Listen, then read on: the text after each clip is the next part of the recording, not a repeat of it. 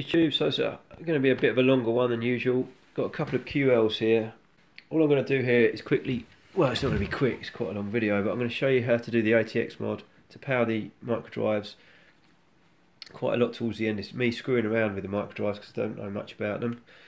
Uh, I'm going to briefly touch on how I went about fixing a white screen and I'm going to show you a cheap easy way to do a composite video output from this unit. This one's sat in a cupboard for ages with a white screen. Basically these chips down here are the upper RAM and these chips along the top and that one are the lower RAM. And what I found was if you if you get a garbled screen like a tartan image and then it goes white that means the upper RAM's at fault. Knowing that I got a logic probe out I went along all of these and it looked like the CAS line was stuck only on these uh, upper RAM chips. I thought I know what I'd do I'll unsolder all of these and I'll try them all one by one in the RAM tester and see if it's actually any good. And it did, it showed three of these were dead and I changed them and the system booted. Prior to that I swapped out all the chips in the other QL just to rule them out. But that's basically how I fixed that, so it weren't really worth covering a whole video on that. Got no power supply, so I had to do that first. I've showed you a video on that, how to do that. Basically you have to desolder IC37 and IC36 IC37, which is basically a transistor. IC36, which is basically a transistor. And you have to inject 12 volts plus 12 volts in there. And you have to inject minus 12 volts in there, minus 12 volts in there. You have to pick up ground from the middle of the power connector, which is probably the easiest place to do it, the middle one. And you have to get your 5 volts, remembering that the 7805 sat that way. So this one was the output, not the red, this one. This one is 5 volts. Let's do the easy stuff first. This is the new membrane, came from RAP software. Comes with a nice little uh, explanation. So I'm just going to put that on. So to get into the membrane, one, two, three, move the rice paper out of the way. Four, five, maybe one under there, six screws. Marked them so I don't end up putting them in, back in the wrong place. Get those out. New membrane laid over the top. Make sure it lines up in the holes and the little gaps. So there we go. That's back on. That was nice and easy. I'll leave that like that for a minute. So I'm probably going to do something with these because these are just a pain um, to reattach. I'll figure something out later. But for now, let's do the uh, recap. And there by the magic of YouTube it is. I just went all along these and checked them, took them all off, checked them. These were bang on, this was bang on, this was bang on. This one wasn't, but it's 0.3 of a microfarad and 50 volts. I don't have any, and it was maybe 30% out of line. And I think all it's doing is something to do with a data port. So I put it back on there.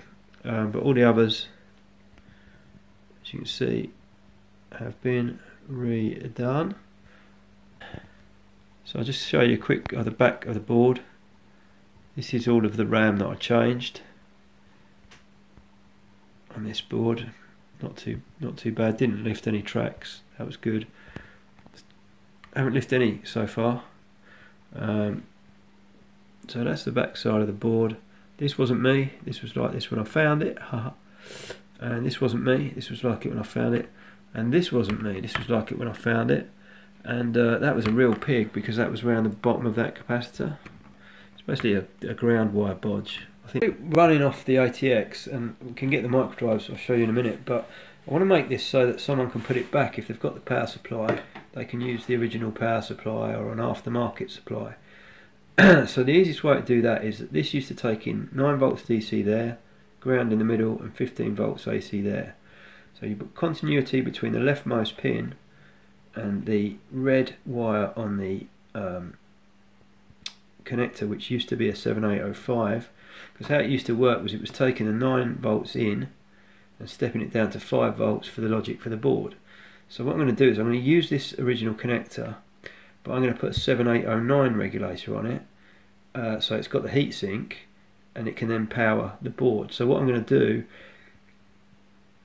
is basically twist this around gently without putting too much strain on it like that. Okay. Then I'm going to get the 7809 sitting like that I'm going to bend up the input pin and connect it to the 12 volt rail.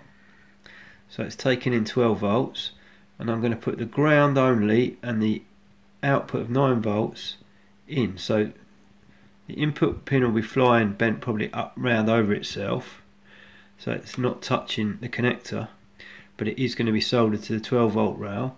So the regulator is getting its 12 volts it's got its ground the ground's going in here and then it's going to be outputting the 9 volts into what I know is the 9 volt rail here. So I don't have to destroy anything I don't have to uh, you know hack up any of the anything. And if someone wants to all they've got to do I'm not going to turn it around too many times but they've just got to one twist that take the 7809 out put the 7805 in and it'll be back to stock. So let's do that. There my scrap box and found this Molex connector. Cut the end off it was rubbish anyway. I'm going to rework the yellow for the 12 volts. It's just so people can't plug it in wrong uh, yellow for the 12 volts red for the 5 and black for the ground. Obviously there's two grounds but I'll just tie them together. And the white I'll leave. So there it is back in its case. This post will act as a strain relief point. I'll put the micro drives on top. You won't see any of this wiring but that post just acting as a bit of extra strain relief. And then this is the wire that's going to bridge up we cut a bit shorter and bridge onto the 7809 onto that side of it the red one uh, the no the grey one this one on the right hand side. So if anyone wants to restore it they've just got to take out one yellow wire one white wire twist this back round the right way put the 7805 in and away you go. So that was a pain but the micro drives are back in. What's a pain with them is these cables are very very flimsy and there's absolutely no slack on them. And there, there's two lots of them one and one behind it and you got to get the back one in first and then the front one in. Absolutely got the weight hanging off it. Absolute pig. Um, but they're back in. Cleaned up with some isoprop clean the heads. Transistors for reverting to the original power supply just taped in there if anyone ever wants it. So we've got Molex now and I'll just show you this bit. So our wires are going to be arranged and then the heat sink was really tight and it basically goes in over the top there. Lines up with that hole and then this will come into the back of it. So let's get that on. So there it is. A bit of thermal grease on it ready to be soldered up. It's coming. After a bit of fiddling around I've gone in that way with the 12 volts to leave it clear for the 5 volts to go in there. This wire holds its shape and the strain relief will be here. The wires are not anywhere near the heatsink, unlike the originals. And uh, so just get the 5 volts in, put the strain relief on, we should be done. And there's the finished product. Uh, I've got strain relief cable tie around here and then one around here just to stop anything pulling on it. And we've got plenty of clearance there. So just to recap, 12 volts is yellow, Going into the input of the 7809. The output of the 7809 is as it was, but the connector is twisted round, so it's giving out 9 volts into what the 9 volt uh, is expected on the board. Ground is tagged on, we've got plenty of clearance there, no problem, and we've got plenty of strain relief. And the 5 volts is going in where the um, yellow one, inverted commas, should have gone um, that's just I've just used a a diode leg bent over double insulated. So that is the moment of truth I guess. And there it is from the top. Nice and easy to reverse. If anyone wants to undo it bits are all there. You just got to take that out turn the cable around put it all back. No wires touching underneath a nice clearance Molex connector. I haven't got anything for a minus 12 but I'll just make do with that for now. Shiny new ribbon connectors better then the old ones. I'm just going to check the LEDs and make sure I get them the right way around because the LED power light wasn't working for some reason. Red, black, white, black, grey, black from top to bottom. It's a good idea just to quickly check there's no shorts on the power rails because you could have done something catastrophic. Doesn't look like I have in this particular case. That's all that's a telltale of the strain relief and it's coming out the net port there. So I've now got to a position where I've got both of these machines running and I want to get the video picture better. So this is a pinout of the composite on the um, QL and you can get PAL or you can get a PAL composite signal off of pin 2 which is ground and pin 6 sorry pin 1 which is PAL composite.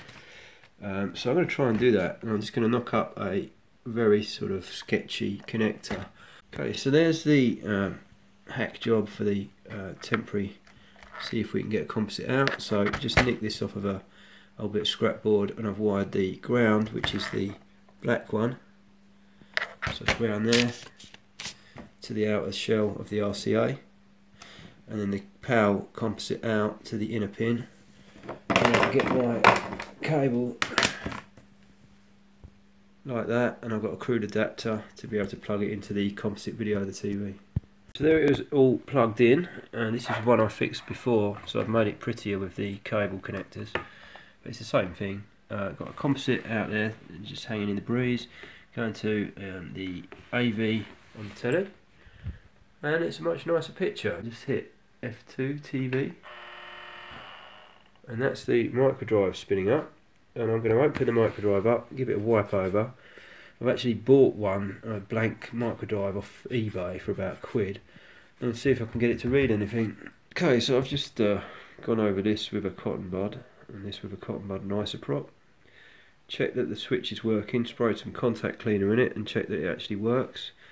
And then I've got some these off of eBay, which are ancient. These are the cartridges it used to take, so if you just bear with me.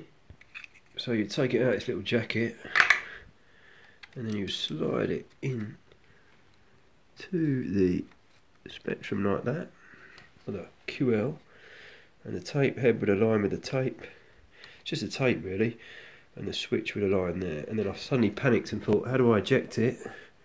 So I don't want to start it up with it in it, but you just literally pull that out like that. And there's your little tape. I'll give that a clean actually. There's your little tape and then you put it back in its little jacket. And away you go. Let's see what we get. Dizzy. Let's play dizzy. I bet it don't work. You put dizzy in like that. And then you type this is the first time I don't know if it's going to work cat bad name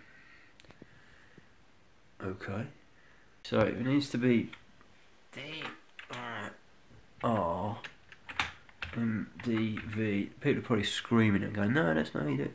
MDV1 underscore. Ah! Chugs away. we had this before. I'm going to leave it and see if it does anything this time. So yeah, I thought I'd give it a fair crack of the whip. That's about 10 minutes in and we're still getting nowhere, so I'm going to turn it off. E I R M D V 1 underscore.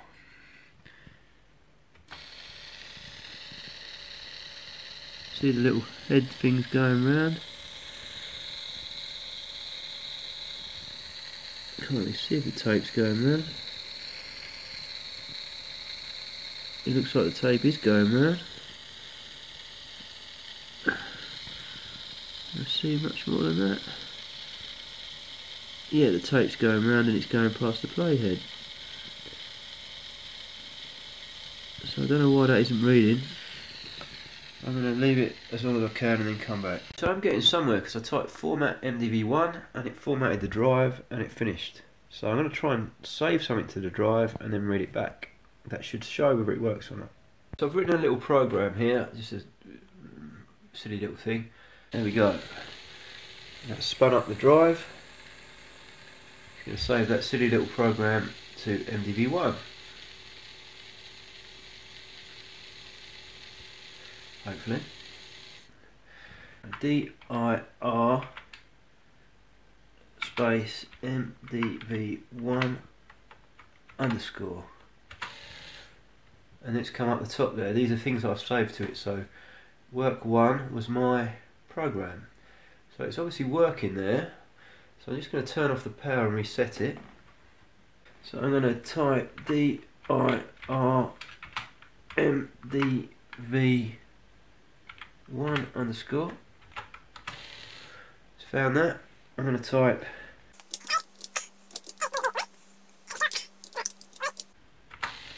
load that program and list it.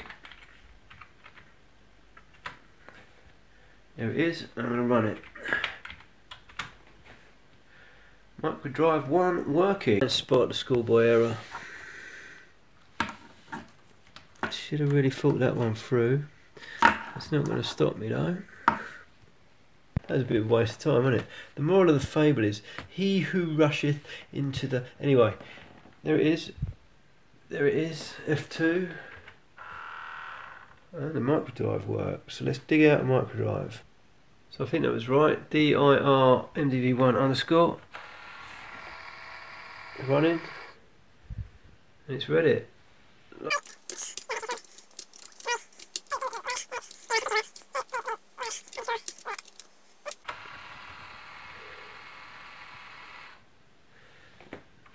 list. That's my little program. Uh, I'm not going to save it, I'm just going to switch to microdrive 2. DIR MDV2 underscore. That was lit up. Not found. Soon if it will save from microdrive 1 on this machine. Probably won't.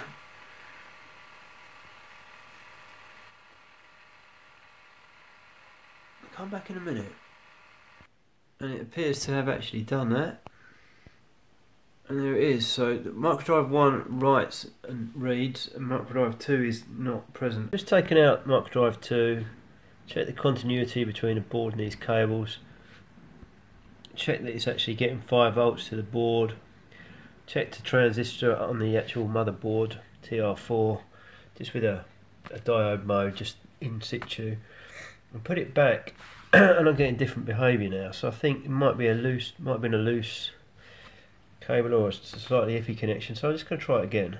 Uh, DIR MDV2 underscore you have to bear with me a sec because I've got to reach around to the keyboard which is up like that.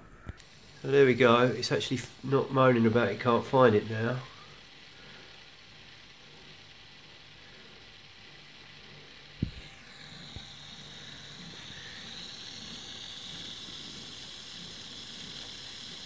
The is moving.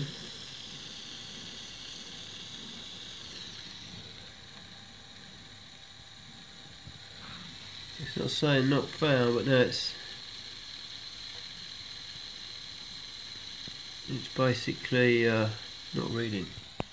Rollers around just to see if it made any difference. Which of these things here took that roller off and put it on that one, and it hasn't made any difference. So I think there's probably a problem with the read head or the chip on the back of the board. But I'm pretty happy. I've got two uh, working QLs. One of them's got both microdrives reading and writing and formatting.